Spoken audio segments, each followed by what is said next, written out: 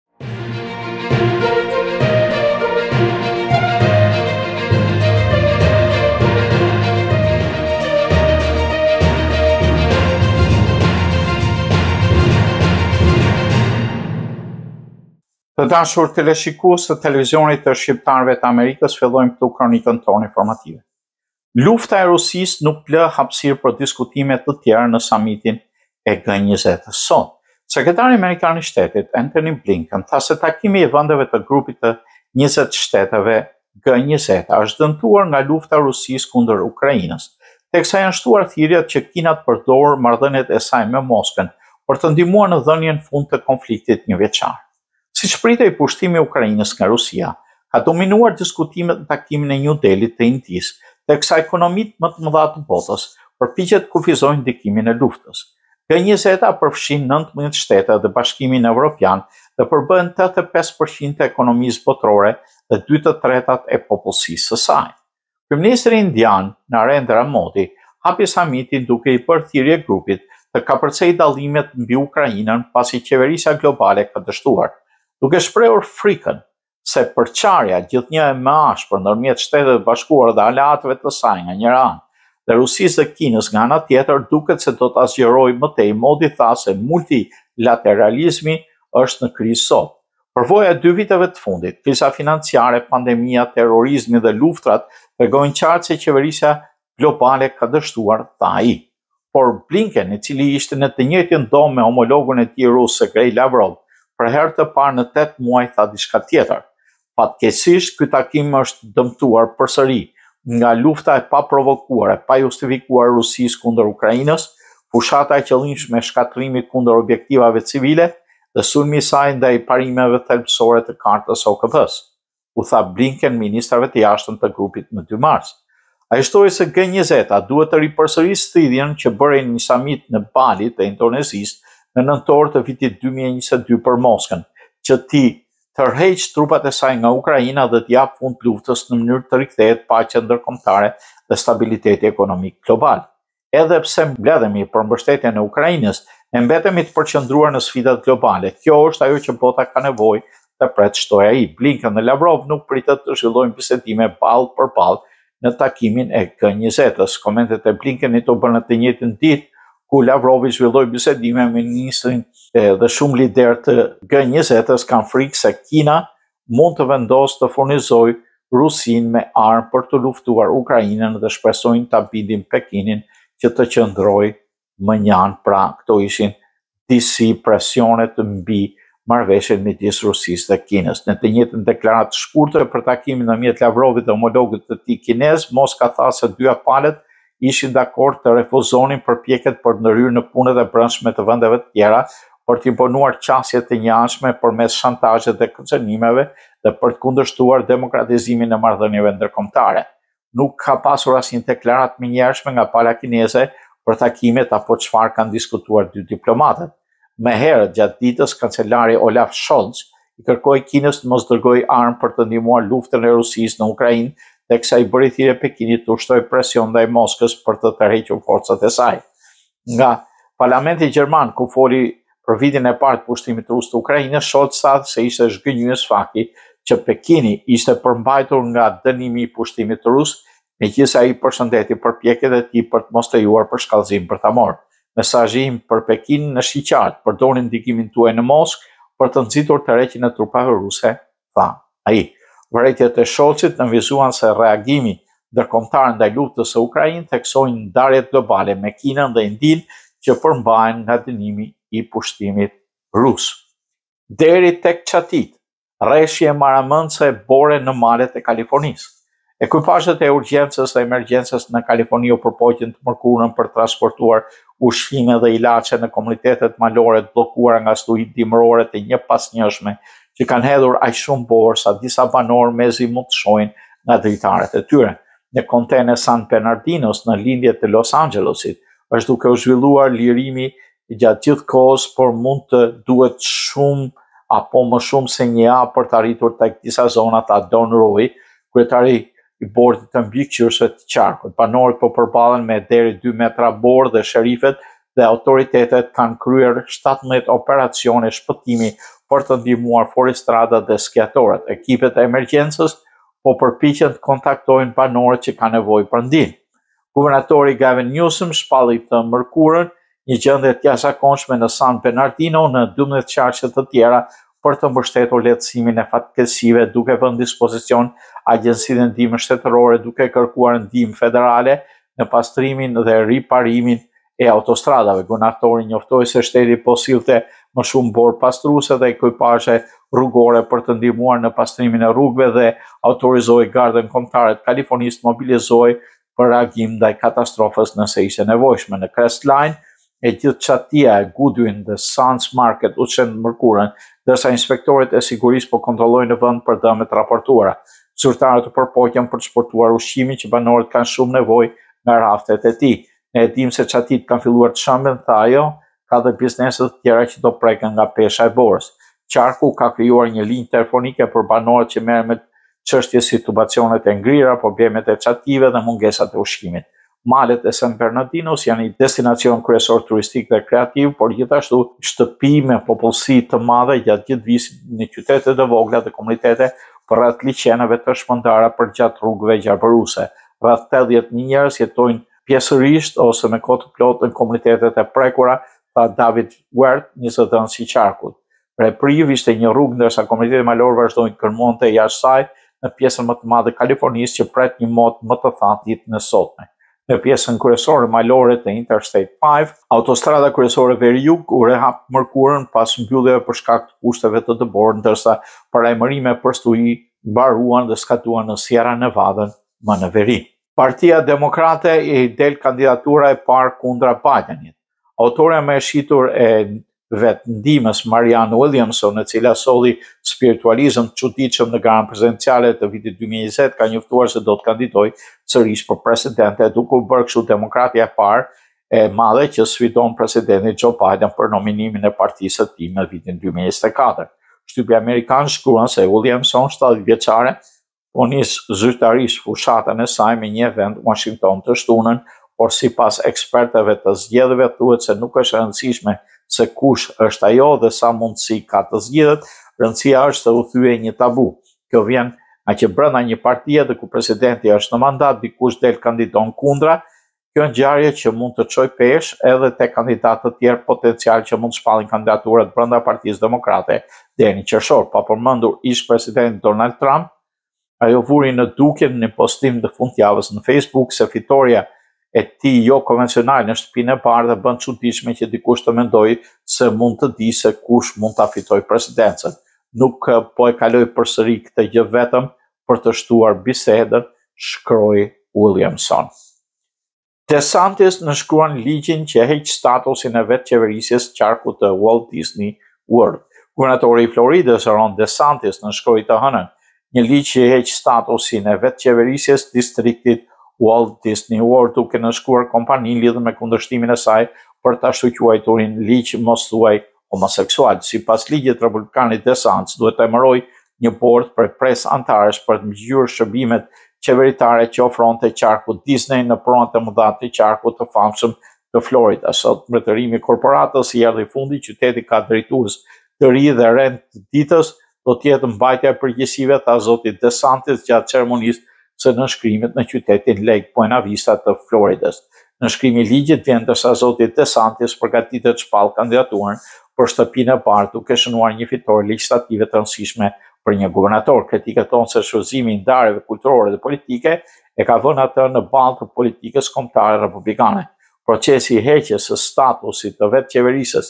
së qarkut të Disney filloi vitin e kaluar kur korporata përballur me presionin e madh kundërshtoi ligjet mos thuaj homoseksual, i cili ndalon institucionet të japin udhëzime për orientim seksual identitet gjinor për grupmoshat e fëmijëve që nga kopshtet deri në klasën e tretë, si dhe mësimin e lëndëve që cilësohen jo të përshtatshme për moshën. zoti DeSantis dhe kritikë të tjerë republikanë dënuan qëndrimin e firmës Disney kundër ligjit për arsimin, duke cilësuar atë si një përhapës të ideologjive të dëmshme përmes rrjeteve të argëtimit për fëmijë. Këtë muaj guvernatori u kërkoi ligjvënësve të Floridës që përmes një sesioni special të përfundonin marrjen e kontrollit të distriktit nga shteti si edhe të miratonin ligje të tjera të rëndësishme për migracionin dhe manipulimet në votime. Përballja me korporatën Disney forcoi edhe më tej pozitat e zotit DeSantis.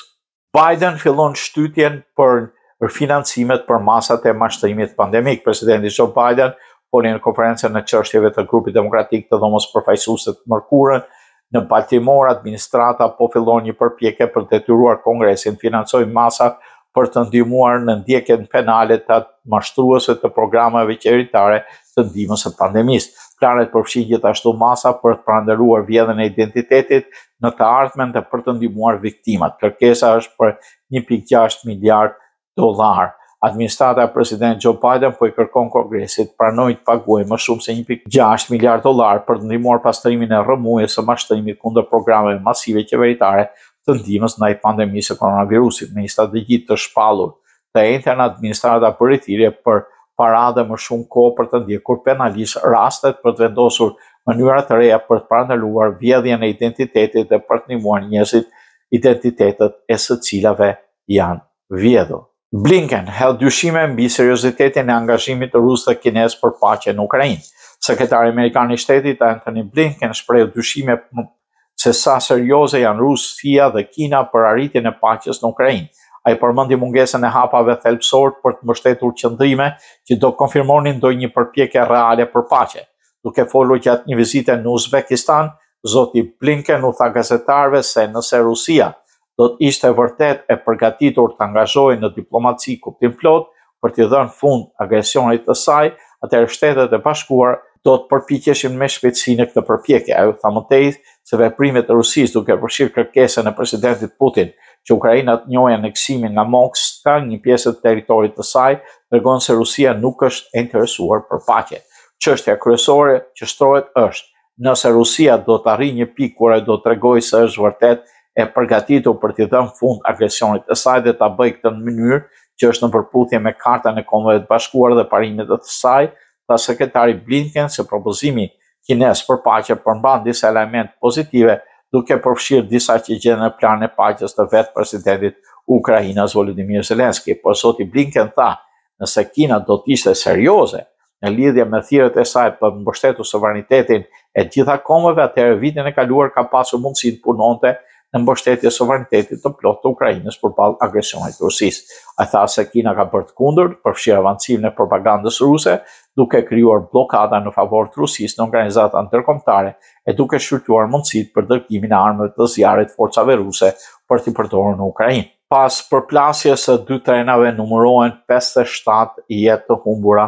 mes tyre edhe pesë shqiptarë. Greqia është e shokuar nga një prej aksidenteve më të mëdha hekurudhore në historinë e saj. Një tren pasagjerësh me treqind e pesëdhjetë udhëtarë është përplasur me një tren mallrash në luginën e Tempit pranë Larisës. Si pasojë numri i të vdekurve pas përplasjes së trenave në Greqi ka shkuar në pesëdhjetë e shtatë.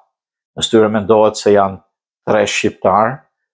vetëm 11 viktima janë identifikuar deri tani, ndërsa për 33 do përdoret testi i ADN-s. Teksa më herët është bërë e ditur se ende pritet rezultati i ADN-s për të konfirmuar nëse mes viktimave është 22 vjeçare me origjinë shqiptare Klaudia Lata Gjithashtu është mësuar që mund të jenë edhe katër viktima të tjera, Pavlin Bozo, punonjës në restorantin e trenit të pasagjerëve, Ledio Rushi, student i cili ende rezulton i zhdukur, si dhe Efigjenia Micka, për të cilën pritet rezultati i analizës së ADN-së. E afërmja e djaloshit Ruçi tha se Elio Ruçi po udhëtonte me trenin që u përplas pas mesnate dhe tani nuk ka asnjë informacion. Erdhi çuni i vëllait dhe na pa në Athinë, Pastaj pamë lajmet që u përplas treni, thotë Ana Ruçi, mes lotëve. Rezultatet e procedurës së ADN-së presin dhe prindërit e shqiptares Klaudia Lata, njëzet e dy vjeçare, studente e mjekësisë në Selanik, e cila kthehej në shkollë bashkë me shoqërinë nga karnavali i Patrës. Klaudia Lata lindi dhe u rrit në Larisa nga prindër emigrantë shqiptarë, që gëzojnë respektin e dashurinë e bashkëqytetarëve si sipërmarrës model.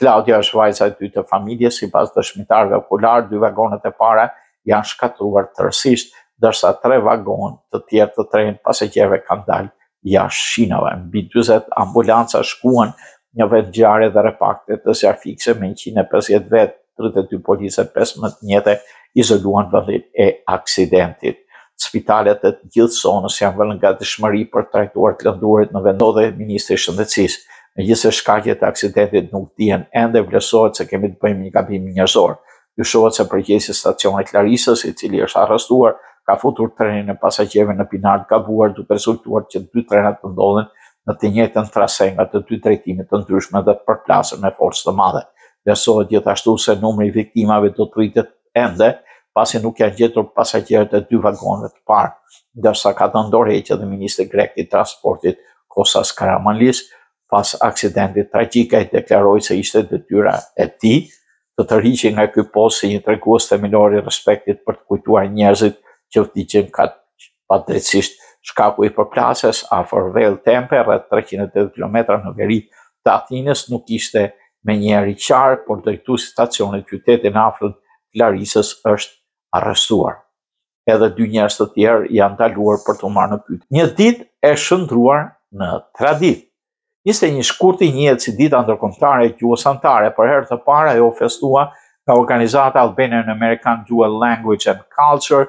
dhe Shkolla Shqipe Children of Eagle, me themeluese drejtuese zonjën Drita Gjongecaj. Por rreth dy vjet më parë ishte një tribute manifestimi i miqve të kësaj shkolle, ku nxënës, mësues, prindër, miq të shumtë festuan dhe gëzuan së bashku. Këtë vit festimet kulmuan në një event gala me pjesëmarrjen speciale të tenorit shqiptar Riad Ymeri, i cili performoi për fëmijët dy himnet tona, atë amerikan dhe shqiptar, më pas këndoi vargjet e Naimit, Fjalët e qiririt, kompozuar nga Limoz Dizdari. Nuk mungoi në këtë event dhe një prezantim konciz i zonjës Mariana Bulku, e cila në fjalën e saj hyrëse bëri një prezantim të përgjithshëm të veprimtarisë së AADLC në shkollën Children of Eagle, e cila në fare pak vite ka sjellë kaq shumë cilësi edukimi në gjuhën shqipe si dhe në komunitetin shqiptaro-amerikan përmes seminarit të përvitshëm mbi metodat dhe perspektivat e mësimit të gjuhës shqipe në diasporë, piknikun veror, trajnimet online të network-ut të mësuesve, nëpërmjet partneriteteve ka dalë e fortë dhe natyrisht përfitues janë nxënësit e shkollës, fëmijët e Shqiponjës të cilët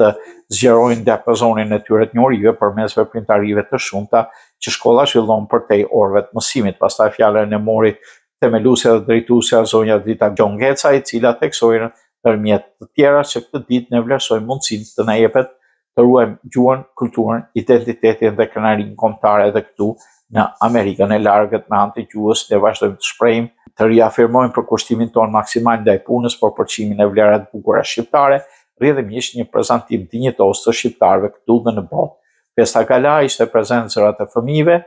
ata ishin protagonistët e kësaj dite me këngët e vallet e tyre. Nuk do t'i mungonte edhe organizimi nga Federata Vatra, përfaqësuar nga Asllan Bushati, presidenti i nderit Agim Rexha, i cili në fjalën e tij theksoi se ndjehej i privilegjuar të ishte mes fëmijëve në festimet për nder të Ditës Kombëtare Amtare. Sot është një ditë e veçantë për Luginën e Preshevës në Senatin e Shteteve të Bashkuara, organizuar bashkërisht nga zyrët e senatores Joni Ernst, republikane nga Iowa dhe Gary Peters, demokrat nga Michigani si bashkëkryesues i grupit për çështjet shqiptare në Senat prezantuan dëshmitë tona për diskriminimin shtetëror që Beogradi vazhdon të bëjë ndaj shqiptarëve në Luginë. Çështja e të drejtave kombëtare të shqiptarëve në Luginë është pjesë e pandashme e kauzës sonë kombëtar, si anëtar ekzekutiv i Ligës Qytetare Shqiptaro-Amerikane, thotë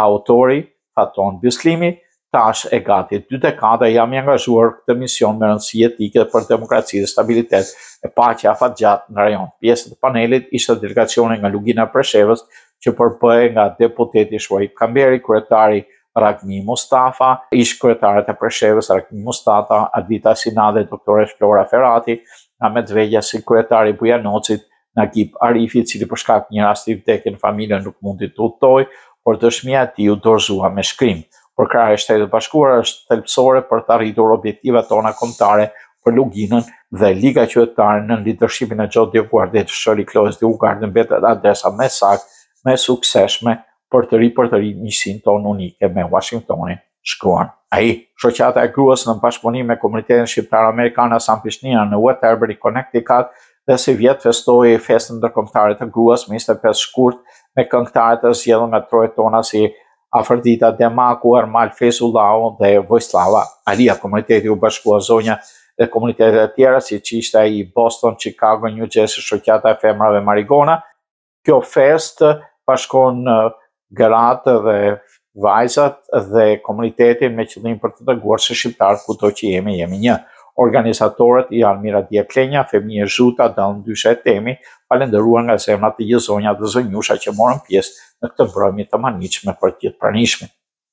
tridhjetë vjetori i themelimit të shoqatës Kraja në Nju Jork. Në mbrëmjen e së dielës, qindra krajanë festuan së bashku arritjet e së shkuarës dhe përkushtimin për një të ardhme më të ndritur në Staten Island. Shoqata Kraja nga Nju Jorku festoi tridhjetë vjetorin e themelimit të saj me moton tre dekada veprimtari patriotike, kulturore, humanitare në shërbim të komunitetit dhe kombit tonë. Udhëtim tre dekadash i mbushur me histori, suksese falë komunitetit dhe mbështetjes së tyre të pafund. Në praninë të një numri madh krajanësh, rreth 400 vetë, mysafirë, liderë dhe veprimtarë të komunitetit shqiptar, përfaqësues të shoqatave, me një program të larmishëm kulturor e artistik Shoqata Atdhetare Kraja shënoi kështu 30 vjetorin e themelimit në mbrëmjen festive, e cila u mbajt në njërin prej mjediseve luksoze të hotelit Hilton Hotel në Staten Island. Të ftuar ishin Marko Kepi, Shuqo Gjokaj, Edi Drishti, Jasin Gjokaj, Xhemo Lanica, Albert Salaj, Naser Nika, përfshirë dhe Drita Pereziqi, atdhetare patriote bijë e Krajës,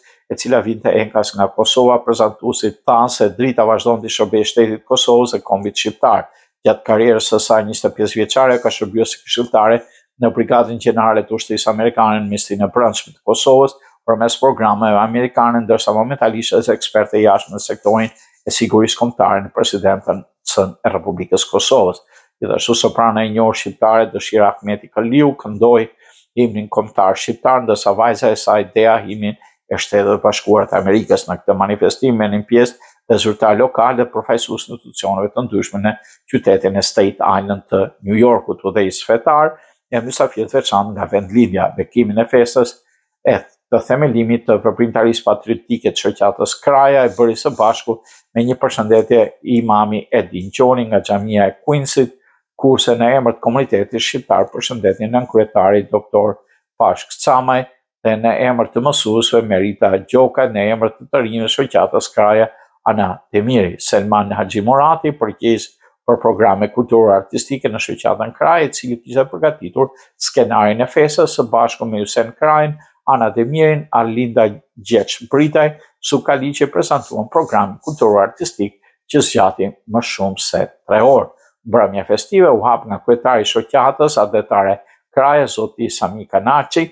i cili me një fjalim rasti kujtoi themelimin dhe fillimet e kësaj shoqate atdhetare patriotike duke falënderuar krajanët në New York e veçanti paraardhësit e tij, mbështetësit e kontribuesit në suksesin e kësaj shoqate. FC Dallas nënshkruan me mbrojtësin shqiptar Ahmet Korça nga HNK Gorica, kampioni amerikan ose Liga e Madhe e Futbollit MLS është shumë interesante viteve të fundit në futbollin amerikan ka një interesim të madh stadiume plot me tifozë dhe vëmendje e madhe për futbollistë të talentuar. Shumë skuadra vitet e fundit janë organizuar mirë, derisa në këtë kampionat kanë zbarkuar dhe yje të mëdha futbolli nga Evropa, Meksiko, Argentina, Brazili dhe vende të tjera nga Amerika e Jugut, Afrika dhe Azia. Emri më i ri është nga një sesion nga Evropa, që erdhi në këtë sesion është i 22 vjeçarit shqiptar amerikan Struganit Ahmet Korça, djali i veprimtarit të njohur të komunitetit shqiptar Ylber Korça nga Struga, emigruar 4 dekada më parë në Amerikë, qendër mbrojtësi Ahmet Korça sipas Transfer Market erdhi nga skuadra kroate e divizionit të parë HNK Gorica me një kontratë njëvjeçare me opsionet e klubit të sezonit për vitin dy mijë e njëzet e katër njëzet e pesë, njoftoi klubi nga Dallasi në Texas. Mediat amerikane kanë raportuar se skuadra amerikane e Dallas është gati ta pranojë në skuadrën e tij për më shumë se 250.000 euro në vit. Megjithatë kampionati amerikan ose Liga e Madhe e Futbollit MLS si fusha e lojës mbetet të shihet mesfushori shqiptaro-amerikan Ahmet Korça që erdhi nga Evropa në kampionatin e fortë kroat, klubi i divizionit të parë, si do të ambientohet në futbollin amerikan. Korça i cili luajti në Kroaci ka filluar me skuadrat për të rinj në Solar SC, iu bashkua akademisë GNK Dinamo Zagreb në vitin 2019, po ashtu ka veshur dhe fanellën kuqezi të kombëtares shqiptare për të rinj. Komisioni i Përbashkët i Shqipërisë dhe Kosovës për miratimin e teksteve mësimore të përbashkëta për diasporën shpalli thirrjen për aplikim në konkursin e teksteve mësimore për mësimin në diasporë dhe në mërgatë, Gjuha shqipe dhe kultura shqiptare, niveli i dytë, dhe Gjuha shqipe dhe kultura shqiptare, niveli i tretë, për të mësuar më shumë mbi standardet dhe tekstet mësimore të mësimit plotësues të gjuhës shqipe dhe kulturës shqiptare në diasporë e në mërgatë, mund të shikoni edhe sajtin e kësaj shoqate. Festivali i Komunitetit Shqiptaro-Australian në Këshava, Komuniteti Shqiptar në Dandenong Këshava, ka mbajtur këtë të diel festivalin e përvitshëm në kulturën shqiptare. Ky festival është një ngjarje e gëzueshme kulturore që mundëson shqiptaro-australianëve dhe komunitetit lokal në Dandenong dhe të gjithë Victorian të takohen të rilidhen me njëri-tjetrin së bashku me familjet e fëmijët e tyre në hapësirën e dedikuar për festivalin. Gjatë ditës së diel të festivalit, komuniteti pati rastin të festojë kulturën e vet me këngëtarin Mentor Haziri nga Kosova. Komuniteti shqiptar Karnavalet e Castrovillarit në Itali, pjesë e edicionit 65 të Karnavaleve Castrovillari, ishin dhe shqiptarët që jetojnë dhe punojnë prej vitesh në Kastrovilari, të cilët u përfaqësuan me grupin e quajtur Shqipet e Shqipërisë në Kastrovilari. Origjina e Karnavalit të Kastrovilarit daton në vitin një mijë e gjashtëqind e tridhjetë e pesë ku për herë të parë u shfaq pjesa teatrale Organtino përpara universitetit të qytetit. Karnavalet e para moderne janë mbajtur nga Pro Loko dhe datojnë në vitin një mijë e nëntëqind e pesëdhjetë e nëntë. Të dashur teleshikues të televizionit të shqiptarëve të Amerikës, ne këtu i dhamë fund kronikës sonë informative. Do takohemi në emisione të tjera. Mirutakofshim!